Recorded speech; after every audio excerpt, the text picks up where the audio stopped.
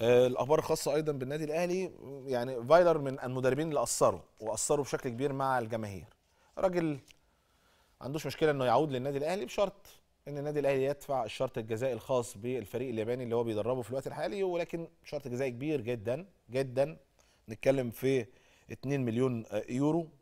وبالتالي طبعا شرط صعب إن النادي الأهلي يدفعه في الوقت الحالي مش عشان حاجة لكن هو فعلا شرط كبير. إلا بقى لو الراجل اتفق إن هو يدفع النص مثلا أو ثلاث أرباعه والنادي الأهلي يدفع جزء.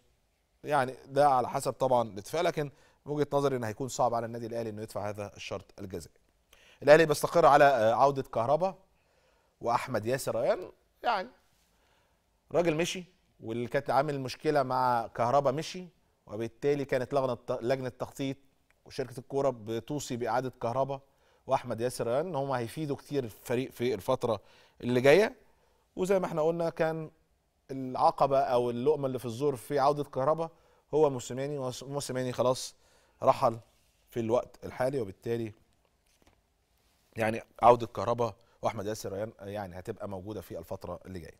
كابتن خطيب وأنا آه، بقول إن الخبر ده خاص بسامي قمصان وأنا عارف ممكن يكون ليه موجود في الإدارة في النادي الأهلي التفكير ده.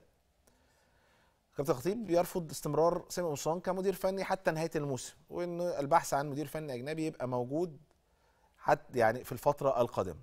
هي فكرة إنك يعني أي مشكلة ممكن تحصل في الدوري أو الكاس لأنك النادي الأهلي في بطولتين كاس ودوري ممكن تأثر على العلاقة ما بين الجماهير وسامي قمصان وبالتالي تحميل المسؤولية سامي قمصان في الوقت ده ممكن يكون عند كابتن خطيب هو ما يحبذوش بالرغم إنه ممكن سامي يعمل نتيجة جيدة جدا في ماتش الزمالك يعمل نتيجة جيدة جدا أمام بيراميدز لكن مشوار الدوري طويل وممكن أمور كتيرة تحدث في الوقت ده.